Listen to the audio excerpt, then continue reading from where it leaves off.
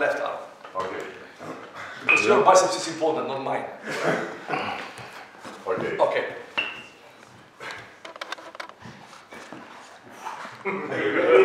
let Mr. President wait. Mr. President, let him He's the champion. No, no, I think you are cheating.